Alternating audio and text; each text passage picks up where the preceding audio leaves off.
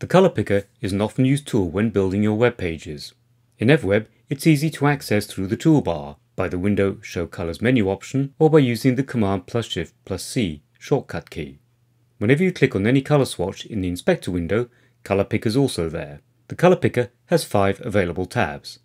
The color wheel, color slider, color palette, image palette, and crayons. While selecting the color that you want to use is self-explanatory, there are some other useful things to know about the color picker. If you are using a large screen and need color picker to be more visible, just grab one of the corners of the color picker window and drag outwards to make the color picker larger. You can also resize the color picker vertically to make it taller by just grabbing the top of the window and dragging the mouse pointer upwards. This is also useful if you can't see all of your saved colors in the color palette at the bottom of the color picker. If you select a color in color picker, it's displayed as the large swatch in the bottom left corner of the app. To save this color, just drag it from the large swatch area onto one of the empty smaller swatches.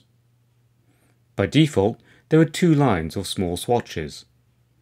Drag the color to where you want and drop it in place. Swap colors around just by dragging and dropping the color you want to move to a different swatch location. To remove a color from the Save Color Swatch palette, drag and drop the color you want to remove to the trash can.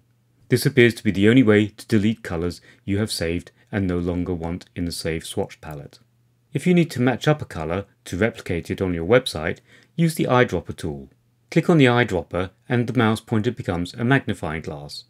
Find the color you want to color match, then click, and the color is then available as the large color swatch. If you want to save the color, just drag it to one of the small color swatch locations. You can then use that color elsewhere. If you have more than two rows of saved colors, there are a few ways in which you can view colors if they are not easily visible. You can resize the color picker so that it reveals any rows of small color swatches that are not visible. Or you can grab the top of the color picker window and stretch it vertically until the hidden rows become visible. If you want to keep the view at only two color swatch rows, drag vertically when the mouse pointer is over the color swatch rows. You'll see that any hidden rows will scroll into view. Lastly, resize the color picker horizontally. Stretching the color picker makes longer rows of the small color swatches. Color picker also allows you to make your own color palette. To make your own palette, first of all select the color palette tab, which is the center tab of the color picker. Click on the Settings cog, and then select New. An unnamed color palette is created with one unnamed color. Drag any of the small color swatches that you want included into the new color palette. When you do this, they will also be named Unnamed.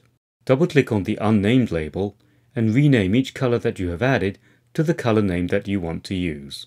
To add the large swatch color to your color palette, just click on the plus button. To remove a color from the color palette, highlight it in the list and click the minus button. To name your color palette, use the settings cog and select rename.